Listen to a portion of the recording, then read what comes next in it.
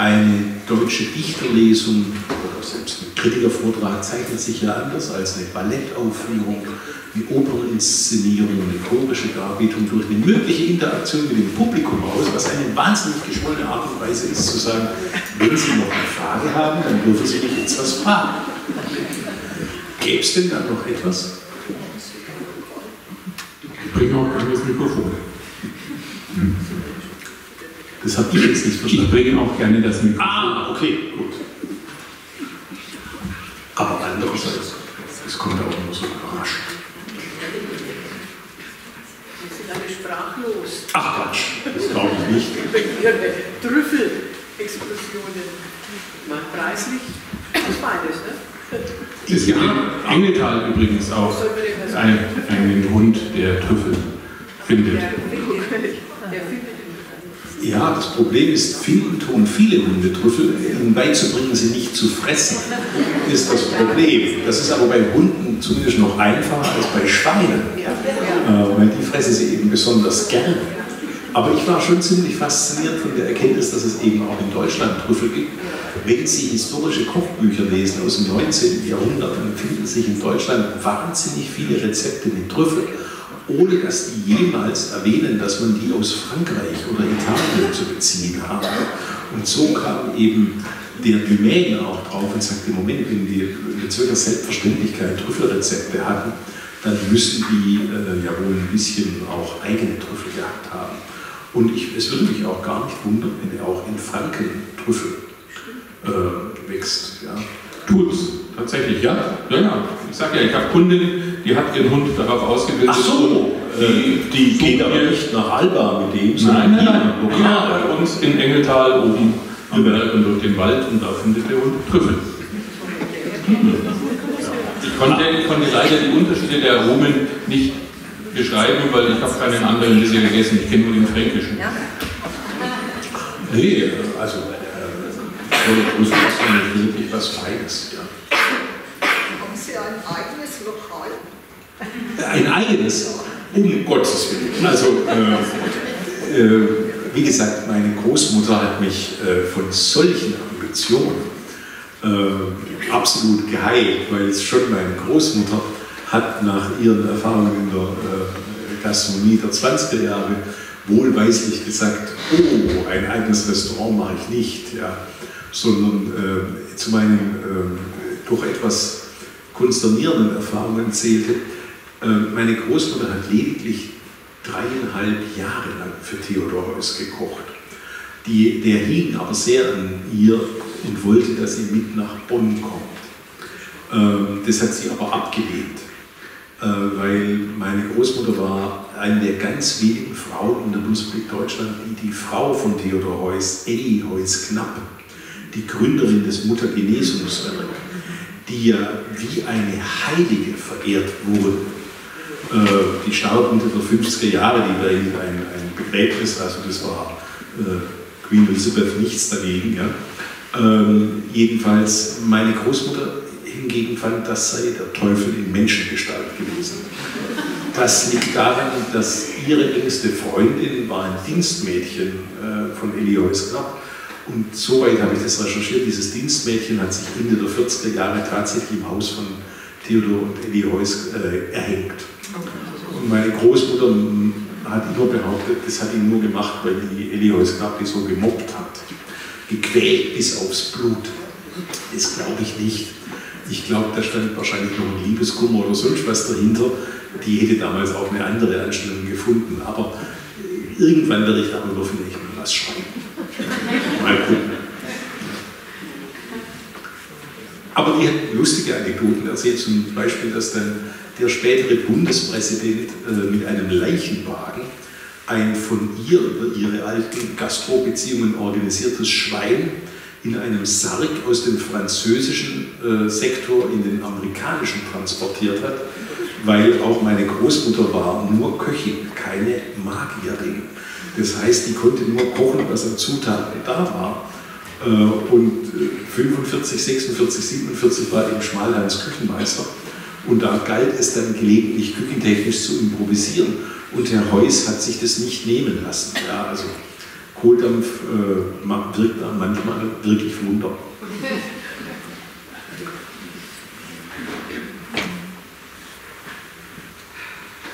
Bitte?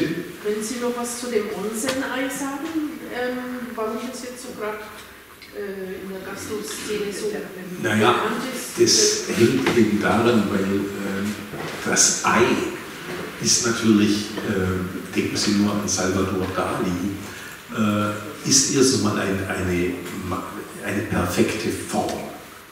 Ähm, Eier spielen in unserer kulinarischen Sozialisation eine Riesenrolle. Äh, aber es gibt natürlich kein von Natur aus besser verpacktes Lebensmittel als das Ei.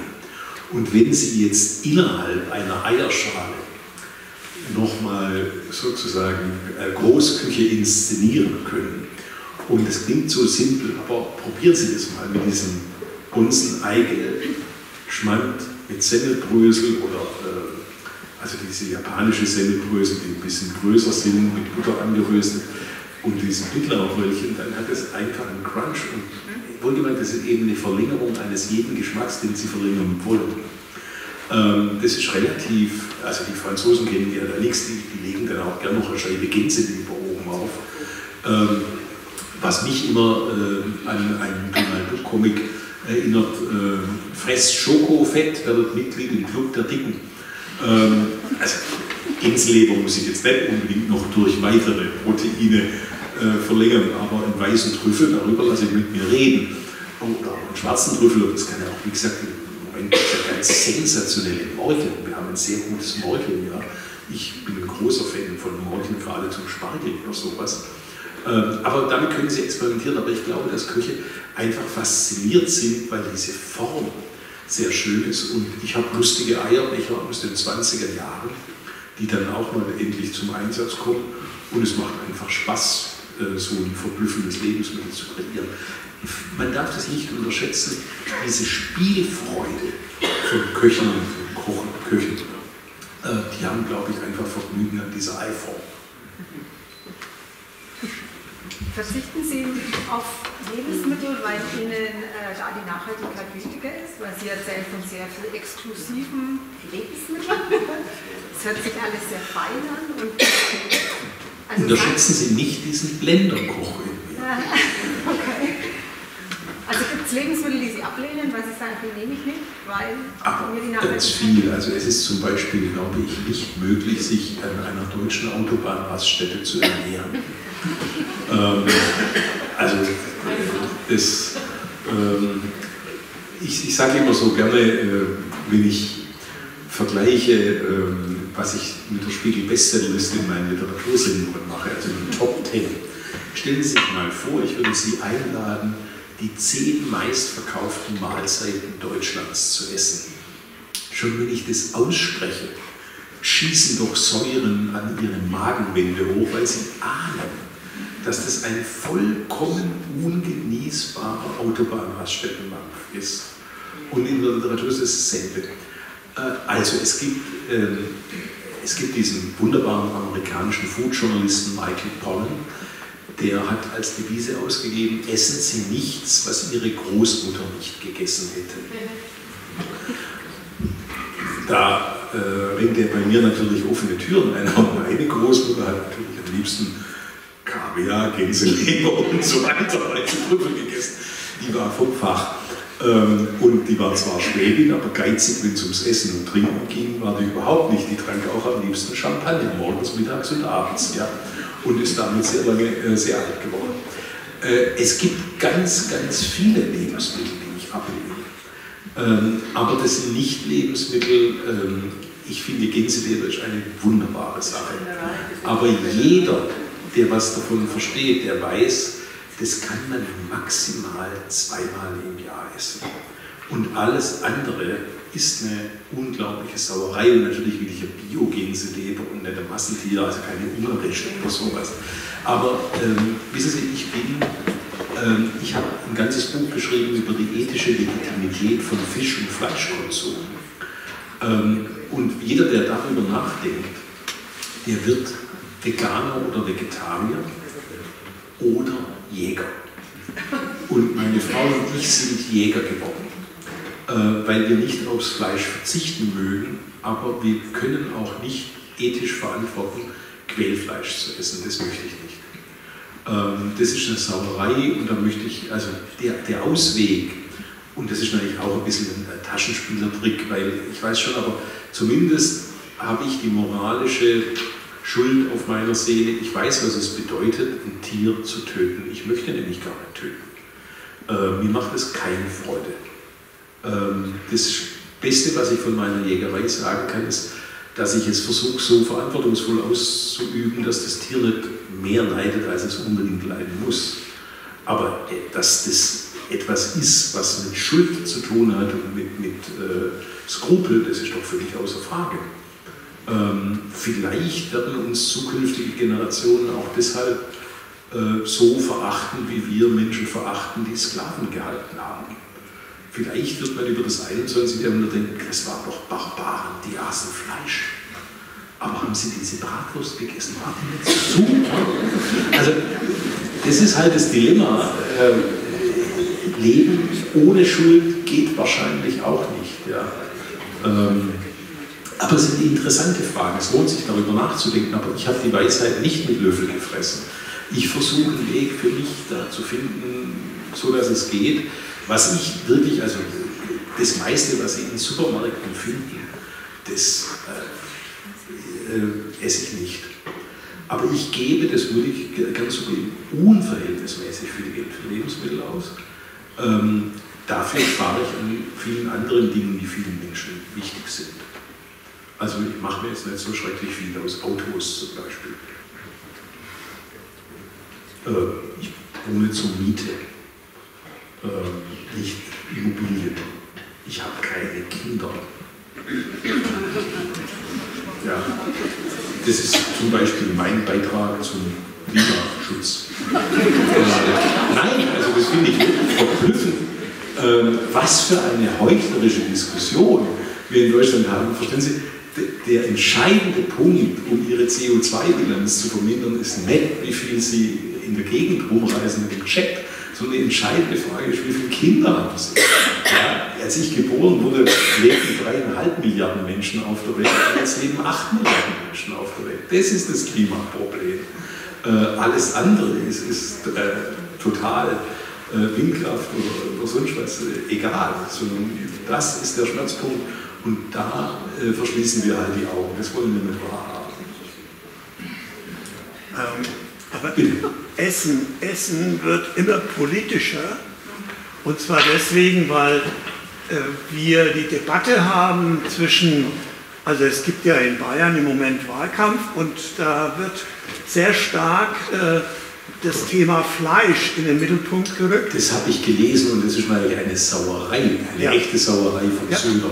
Das muss man sagen. Ja, nicht nur von ihm, sondern Aiwanger und andere, die sagen, man man verbietet das. Das verbietet man ja überhaupt nicht, sondern es geht darum, dass man darüber nachdenkt, so wie Sie es jetzt äh, gezeigt ja, haben. Wohlgemerkt, es heißt ja nur, dass man seinem Verstand, was das angeht, ein Upgrade verschafft. Und wie Sie sich da entscheiden, das muss jeder für sich selber machen. Aber ich habe sehr wohl durch also einige Reden von Söder eben mitbekommen, dass der plötzlich sehr viele Witze äh, über Vegetarier macht und äh, eben da eine Art von, von äh, ja, Mehrheit versucht abzugreifen. Da bin ich mir aber nicht sicher, ob er ähm, da das Pferd nicht von hinten aufzäumt. Das kann auch nach hinten losgehen, weil wer durch also deutschen äh, Discounter-Schläger, dem fällt es ja wie Schuppen von den Augen, dass das nicht das Gelbe vom Ei sein kann. Ähm, also es gibt einfach so viele Lebensmittel oder was angeblich als Lebensmittel verkauft wird, was einfach dermaßen ähm, verarbeitet, vorverarbeitet ist, dass ich denke, hm, also würde ich freiwillig nicht essen. Ich finde es ja auch eine unglaubliche Sauerei. Stellen Sie sich mal vor, am schlimmsten gekocht wird in deutschen Kindergärten äh, in Schulen, in Altenheimen und in Krankenhäusern. Das sind aber genau die Orte, wo eigentlich am besten gekocht werden müsste. Wenn man krank ist, wenn man eine beginnende Demenz hat oder so, unser Stammhirn ist dafür da, der älteste Sinn, den wir haben, ist der Geruchssinn. Der funktioniert noch, wenn alle, wenn alle anderen Sinne signalisieren, Matthäi am letzten, wir sind raus. Also eigentlich müssten in deutschen Altenheimen müssten sich die Sterneköche die Klinke in die Hand geben und sagen, hey, ich habe heute Estragon als Aroma des Tages. Ja. Stattdessen werden diese armen Menschen, die da liegen, gequält mit einer Faddiät, die eigentlich Gefängnisstrafen nach sich ziehen müsste. Ähm, also, mal drüber nachdenken, weil, ähm, verstehen Sie, alt werden wir alle und dieses Schicksal bleibt den allermeisten von uns nicht erspart. Ähm, ich möchte jedenfalls nicht so unbedingt behandelt werden, da müsste wirklich auch mal ein bisschen politischer Wille formieren. Ähm, Im Idealfall, es, es tut sich ja was. Also jeder, der ein bisschen von der Materie versteht, der weiß doch, dass Slow Food eine geniale Idee ist und das regional äh, Essen eine gute Idee ist und dass ich im äh, Dezember nicht unbedingt Erdbeeren brauche und äh, natürlich man sich auch mal überlegen muss, äh, ist Avocado denn jetzt wirklich der heiße Scheiß? Äh, viel, also diese Zusammenhänge kommen uns ja näher und es holt uns auch ein und dann weiß man dann bestimmte Sachen wie, was weiß ich, Hopfenspargel oder Bärlauch oder sowas neu zu schätzen. Altmeister. Oder Kirsch. Ja. Bitte schön. Kirsch. Ja. Es gibt so viele Sachen, die wir denken, es wäre Unkraut, die man wunderbar essen kann. Und ich ganz kurz erwähne, ich habe lange in Italien gelebt und ich sage es jetzt mal ganz gut ehrlich, also so schlimm wie die Deutschen, die meisten Deutschen hier kochen, kocht keine Italienerin. Also die sind da schon sehr äh, bedacht auf Ernährung und ein bisschen mehr. Also hier ist es schon sehr traurig, muss ich ehrlich sagen. Da gebe ich Ihnen recht, vor allem. Äh auch mit dem Geld zum Beispiel, wir können die mit Haferflocken jeden Morgen auch den Kindern ein wunderbares Essen machen, wo nichts nicht viel kostet. Warum macht man das nicht? Das hat mit Geld wenig zu tun, das hat mehr mit Wissen zu tun. Äh, und es gibt ja keine teure Ernährung, als wenn Sie sich bei unseren Fastfood-Ketten äh, versuchen zu ernähren. Das ist wirklich äh, ein Traditionszusammenhang, der da abweist. Gutes Essen hat tatsächlich nicht viel mit Geld zu tun. Also man kann auch mit kleiner Münze köstliche Dinge äh, zubereiten.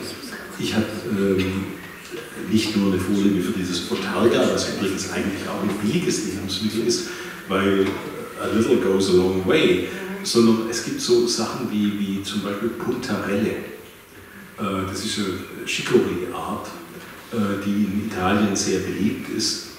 Das wird, also das, viele halten das bei uns für Unkraut, aber äh, eine Pasta mit Puntarelle Burrata mit Puntarelle ist eine unglaubliche ähm, Köstlichkeit. Ich war mal in Rom auf einem Markt, wo seltsame Geräte geboten wurden. Das sah aus wie moderne Kunst.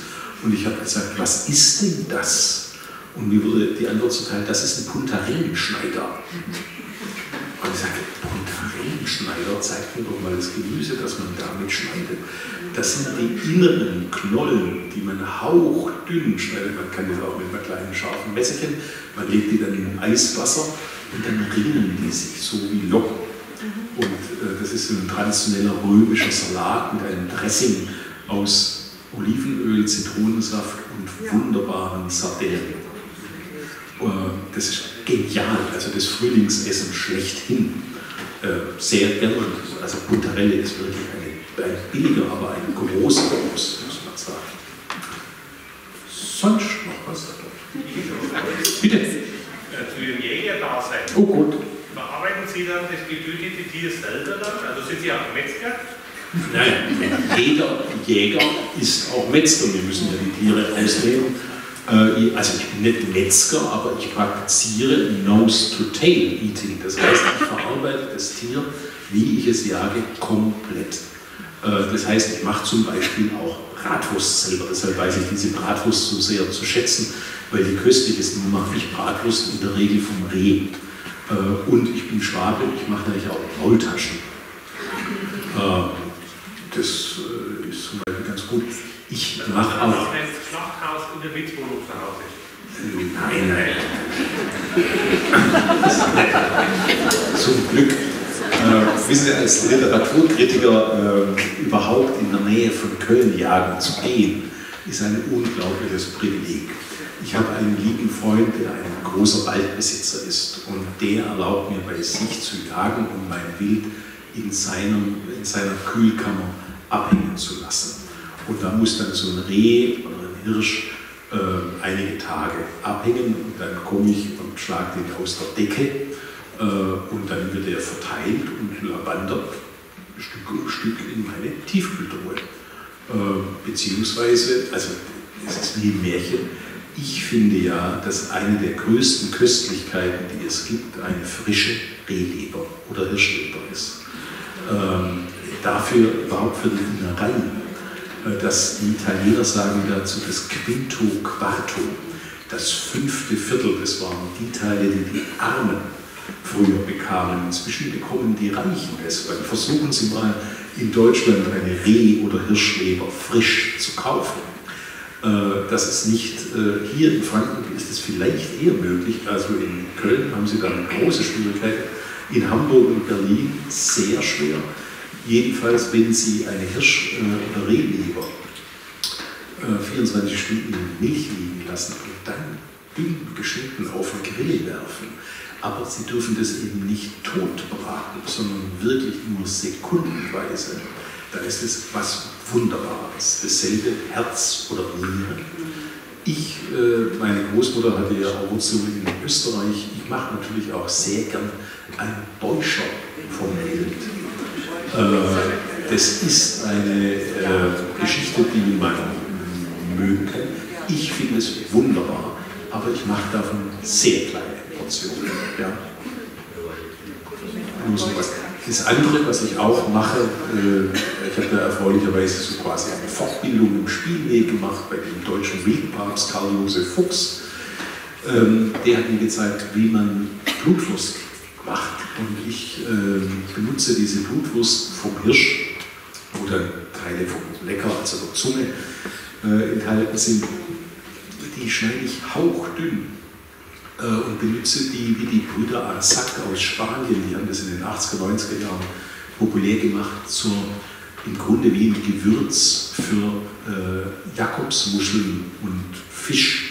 Also so einen wunderbaren weißen Heilbutt mit einer Millimeter dünnen Kruste, mit einer Blutwurst vom äh, Hirschhof raus. Äh, das ist sensationell. Mare e Monte, man so. Ja. So, bitteschön.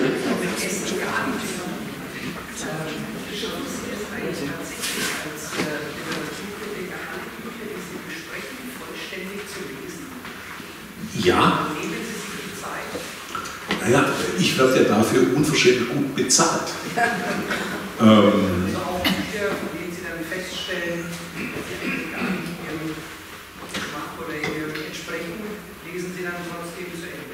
Das muss ich in diesem Falle, weil ich finde, es gehört, also wissen Sie, die, die, die, das Ethos der deutschen Literaturkritik ist nicht sonderlich hoch zu veranschlagen, aber wenn ich in der Öffentlichkeit über die Qualität eines Buches spreche, dann muss ich es schon auch gelesen haben.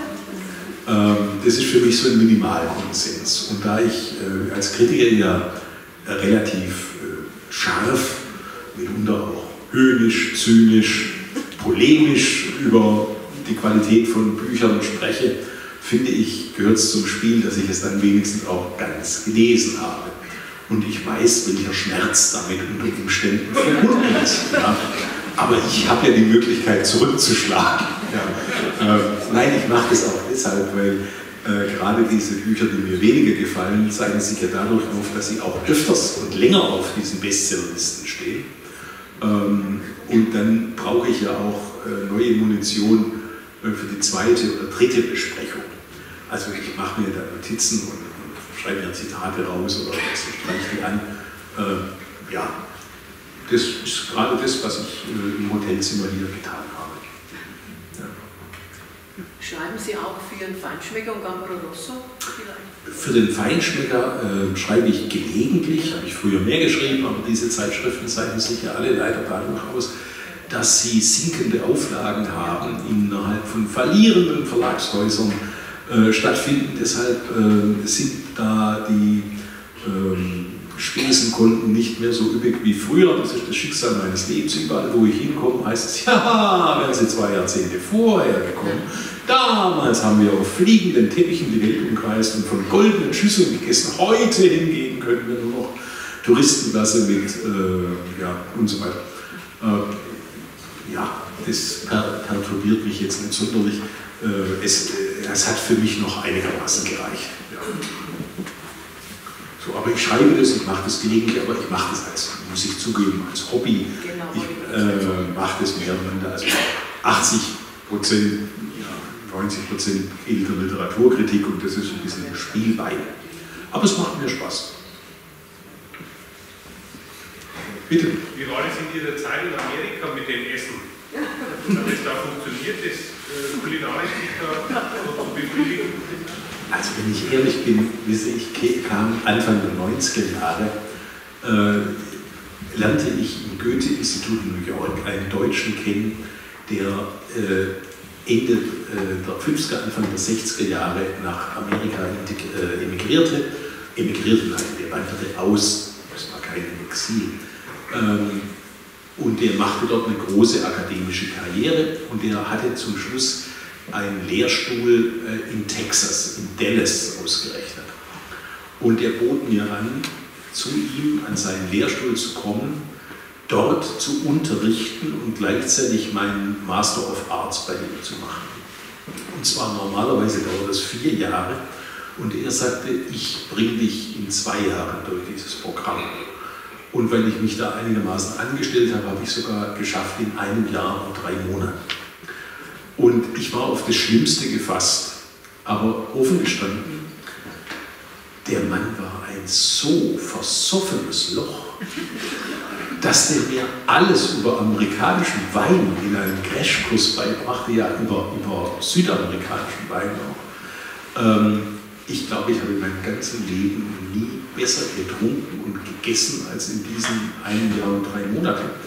Man macht sich völlig falsche Vorstellungen. Wissen Sie, Philip Roth schreibt in einem seiner besten Romane äh, am Anfang, alles, was ich liebte, war da, mit Blick auf die USA. Und in der Mitte des, äh, des Buches heißt es, alles, was ich hasste, war da.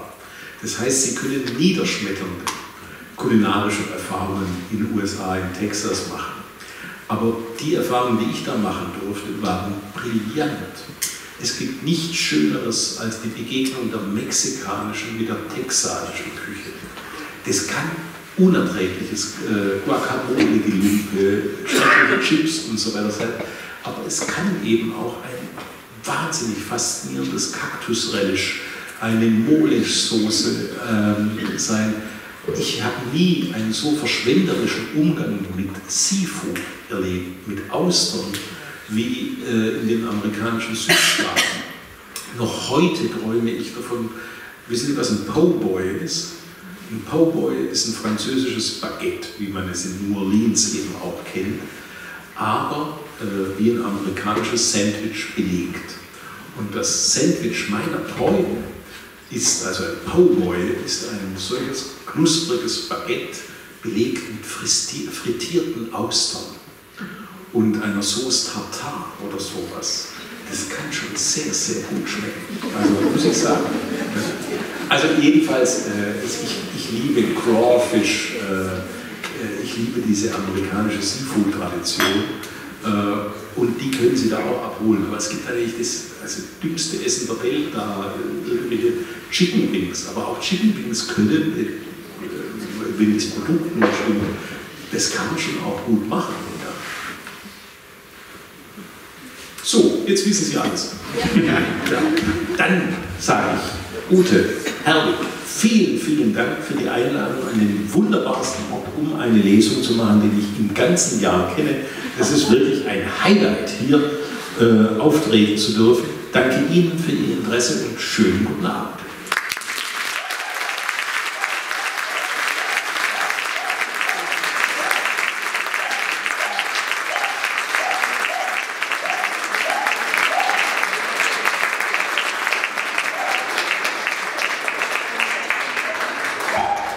gerne noch unsere Gäste, der Dennis ist noch eine Zeit lang da, wird oben in der Ausstellung auch ihre Bücher signieren. Und auch Bratwürste gibt es noch, es gibt noch was zu essen, es gibt noch was zu trinken. Bleiben Sie da, schauen Sie auch für die Ausstellung. Morgen ist auch nochmal ein Tag der offenen Tür. Wenn Sie also jemanden kennen, den Sie herschicken wollen oder selber nochmal kommen möchten, sind Sie herzlich eingeladen zwischen 10 und 17 Uhr. Ganz lieben Dank, Dennis, fürs Kommen zum dritten Mal. Und ganz lieben Dank an Sie, dass Sie da waren und diesen wunderschönen Abend äh, ermöglicht haben. Einen schönen Abend.